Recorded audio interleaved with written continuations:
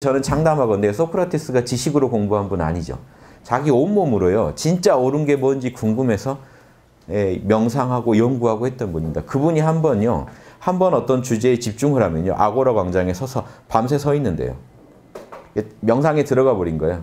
근데 그냥 멍한 명상이 아니라 진리를 찾는 명상이에요. 답이 풀릴 때까지는 안 움직인대요.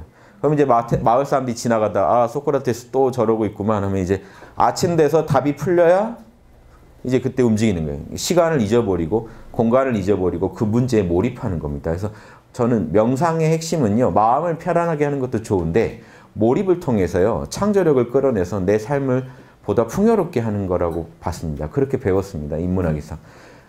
아리스토텔레스도 니코마커스 윌리아 그 후반부에 가면요. 명상이 최고의 행복한 삶이라는 얘기를 합니다. 관조의 삶이. 왜냐?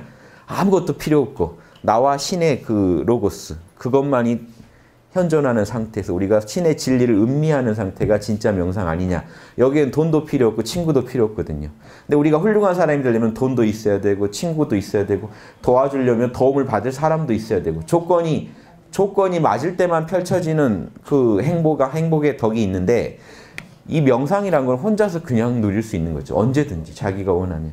이런 얘기들을 쭉 보면서요. 동서양이 차이가 없다는 것도 배웠어요. 동양 선비들은 뭐 당연하고요. 율곡, 태계나 다 이분들은 명상의 달인입니다. 조선 선비들은 이 명상을 경이라고 불렀어요. 경. 아시죠? 잘. 경건할 경. 마음을 경건하게 해서요. 태계나 율곡이 똑같이 한 말이 있습니다. 경은 뭐냐? 마음이 정신이 바짝 차려져서 딴 데로 가지 않고 예, 맑고 순수한 상태를 유지하는 것. 조선 500년간요. 명상의 달인들이 계속해서 내려왔던 겁니다. 요즘 새삼스럽게 서양에서 마음 챙김이니 뭐니 자꾸 들여와서 우리가 공부하지만요. 사실은 우리가 우리 걸 잊어버렸기 때문에 일어난 현상이에요. 이런 것들을 제가 인문학을 공부하면서 하나씩 점검하고 실제로 어, 그분들의 역사적인 어떤 이야기들을 전하, 에, 접해서 보면서 이제 확신이 들어서 저도 저대로 계속 수련을 해봤습니다. 그래서 제가 명상과 고전을 항상 함께 지도합니다. 홍익학당은. 왜냐? 명상을 안 하시군요. 고전을 이해할 수가 없어요. 왜냐? 고전을 쓰신 분들은 다 명상의 달인들인 거예요. 그분들 마음을 어떻게 우리가 이해합니까? 그러니까 지식으로 그분들의 명언을 아무리 외워도 내 마음에선 그게 구현이 안 됩니다.